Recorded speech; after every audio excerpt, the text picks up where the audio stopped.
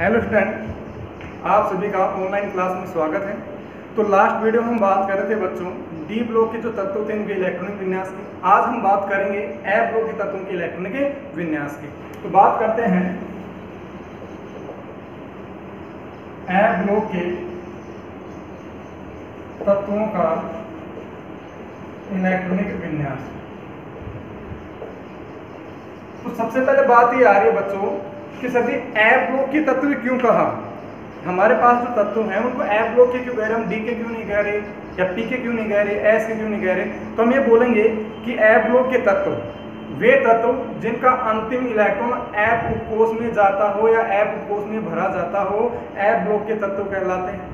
अगर मान लो अंतिम इलेक्ट्रॉन एस उपकोष में जाएगा तो एस ब्लॉक के पी में जाएगा तो पी ब्लॉक के डी में जाएगा तो डी ब्लॉक के, और अगर एफ़ उपकोष में जाएगा तो एफ़ ब्लॉक के तत्व कहलाते हैं।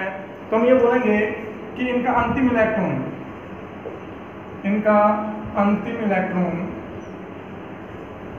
एफ़ उपकोष में एफ़ उपकोष में भरा जाता है। ठीक है? अब बात करते हैं इनके सामान्य इलेक्ट्रॉनिक विन्यास की। इनका जो सामान्य इलेक्ट्रॉनिक विन्यास जो होगा बच्चों हमारे पास में, वो क्या होगा?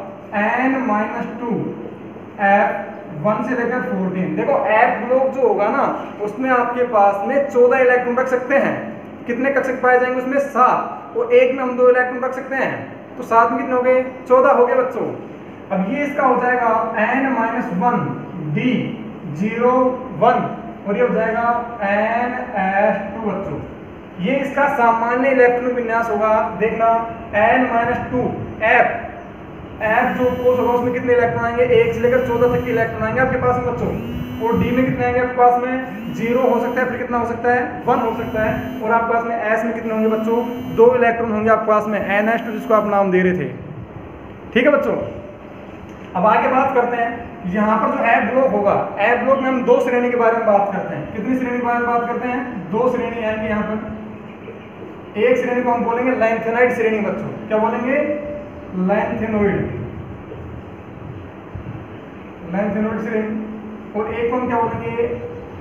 एक्टिनोइड श्रेणी।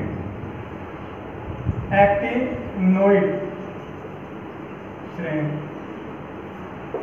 तो बच्चों, जैसे कि मैंने बोला था लास्ट टाइम पे कि हमारे पास में हम ये इसको ट्वेल्थ चैप्टर में जैसे आप हमारे पास जो ट्वेल्थ क्लास में जब आओगे, पूरा हम डिटेल से पढ़ेंगे। फ़िलहाल तो उसके पास नॉर्मल बेसिक बातें सीख रहे हैं हम लोग, ठीक है ना? अब बात करते हैं सर जी लेंथनाइट जो श्रेणी होती है। ये आपके पास में कहाँ से स्टार्ट होगी? तो ये लेंथनाइट श्रेणी स्टार्ट होती है, ये आपके पास में अट्ठावन नंबर से। ठीक है? और ये जाएगी एलयू ये जाएगी आपके पास में बच्चों इकहत्तर तक। अट्ठावन से इकहत्तर तो देखो आपके पास में अट्ठावन, इकहत्तर, यहाँ से देखो वो चौदह तत्व यहाँ पर आ जाएँगे आपके पास में। इसको बोलेंगे लेंथनाइट श्रेणी के तत्व। और ये आपके पास में बच गई। ये आ जाएगी एक्टनाइट श्रेणी के तत्व। और ये आपके पास में स्टार्ट हो जाएँगे बच्चों थोरियम नब्बे से लेकर। एला लोरेंसियम 103 तक। ये बच्चों यहाँ तक आ जाएँगे। देखो, अट्ठावन से इकहत्तर और नब्बे से 103 ठीक है बच्चों? तो ये लेंथनाइड श्रेणी के तत्व होंगे, ये कौन श्रेणी के तत्व हो जाएँगे? एक्टिनोइड श्रेणी के तत्व हो जाएँगे। हम आवर सारणी में इनकी बात कर चुके हैं बच्चों। कि सर जी? हमारे पास में। इसमें कौन सी श्रेणी आती है? इसमें कौन सी? तो यहाँ पर दो श्रेणी होंगी। लेंथनाइड श्रेणी को हम बोलेंगे फोर एम श्रेणी और एक्टनाइड श्रेणी को हम बोलेंगे फाइव एम श्रेणी बच्चों। ठीक है? अब देखो, आगे बात करते हैं। हम ये बोल सकते हैं कि एफ़ ब्लॉक के जो तत्व होते हैं, जैसे हमने डी ब्लॉक बोलता संक्रमण तत्व तो एफ़ ब्लॉक हम बोल सकते हैं अंत संक्रमण तत्व। क्या कह सकते हैं? अंत संक्रमण तत्व भी कह सकते हैं इनको।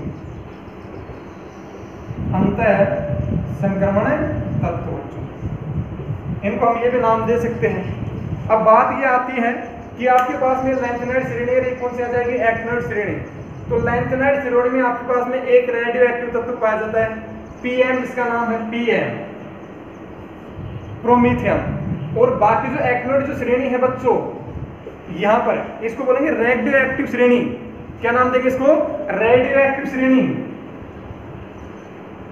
रेडियो एक्टिव तत्व श्रेणी। क्योंकि इसमें जितने भी तत्व होंगे, वो सारे के सारे रेडियो एक्टिव तत्व होंगे बच्चों। सारे सारे कितने तत्व होंगे? रेडियो एक्टिव तत्व होंगे। तो आपसे अगर ये बोला जाए कि बताओ, आवर सारणी में कुल रेडियो एक्टिव तत्व कितने हैं? तो बच्चे हो जाएँगे पंद्रह। तो हम बोलेंगे, कुल रेडियो एक्टिव तत्व। कुल रेडियो एक्टिव तत्व, वो हो जाएँगे बच्चों हमारे पास में पंद्रह। कौन कौन से होंगे?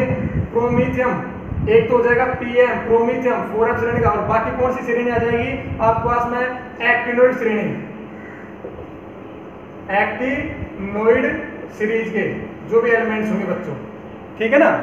तो वापस से बात कर लेते हैं कि हमारे पास में एस ब्लॉक क्या था पी ब्लॉक क्या था डी ब्लॉक क्या था, और जो भी हमारे पास में था एफ़ ब्लॉक क्या था। बच्चों, वापस से बात बताता हूँ कि आवर्त सारणी जो होती है आवर्त सारणी में हमारे पास में कितने सात आवर्त होते हैं, अट्ठारह वर्ग होते हैं बच्चों। ठीक है? उसके बाद मैंने बात की आवर सारणी में जो तत्व होते हैं, उनको चार ब्लॉक में व्यवस्थित किया। S block P block D block और एफ़ ब्लॉक में बच्चों। ठीक है? आवर सारणी में कुल हम 112 तत्वों की बात करते हैं। 112 तत्वों में हमारे पास में कितने तत्वों की बात कर रहे हैं? 112 तत्वों के बच्चों। इधर देखते हैं कि आवर्त सारणी में हमारे पास कितने तत्व होंगे? 112 तत्वों की बात करेंगे ओनली अगर हमारे पास में 112 तत्व कुल हैं तो 112 में हमारे पास में पिचानवे हो जाएँगे बच्चों, ठोस। यहाँ पर आपके पास में पिचानवे कितने हो जाएँगे? ठोस। और ग्यारह कितने हो जाएँगी? गैस। और बच गए जो हमारे पास में छह, वो हो जाएँगे द्रव। क्या हो जाएँगे? द्रव। अब बात करते हैं यहाँ पर इसमें से सबसे धातु कितनी होंगी? तो धातु होंगे आपके पास में अठासी, ए धातु जो होंगी बच्चों, वो होंगे आपके पास में सत्रह और बच गए उप धातु। ठीक है, ये बच गया आपके पास में सात। कुल तत्व 112 ठोस कितने, द्रव कितने, गैस कितने, धातु कितनी अधातु कितनी, उप धातु कितनी? ब्लॉक कितने आते हैं बच्चों? चार block, S block, P block D block और एफ़ ब्लॉक। ठीक है, एस ब्लॉक का सामान्य इलेक्ट्रॉन विन्यास क्या होता है? एन एस वन से टू होता है। एस ब्लॉक का सामान्य सामान्य इलेक्ट्रॉन विन्यास थोड़ा सा समरी देखते हैं। एस ब्लॉक का क्या हो जाएगा? एन एस वन से टू बच्चों। ठीक है? पी ब्लॉक का क्या हो जाएगा? N S two N P one से लेकर छह। डी ब्लॉक का इलेक्ट्रॉन विन्यास क्या होगा?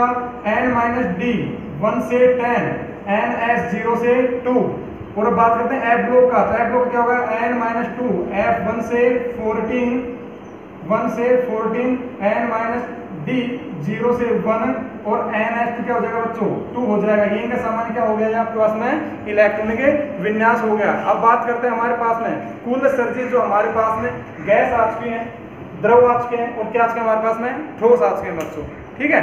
अब आवाज़ सारे में कौन कौन से सिद्धांत दिए थे? हमने शुरू से पढ़ा था पूरा पूरा सर से हमारे पास सबसे पहले प्राउड का नियम आ रहा था, फिर लेवोसिर का नियम आ रहा था, फिर न्यूलैंड्स का नियम आ रहा था, फिर लोथरमेयर का नियम आ रहा था, हमारे पास में डोगनाइन त्रिक का नियम हमारे पास में आ रहा था बच्चों, फिर मेंडलिव की आवर सार नहीं आ रही थी, फिर आधुनिक आवर सार नहीं आ रही थी। तो आधुनिक आवर सारणी जो आज हम बच्चों पढ़ते हैं, वो किस पर आधारित है? तत्वों के परमाणु क्रमांक पर आधारित है। किस पर आधारित है?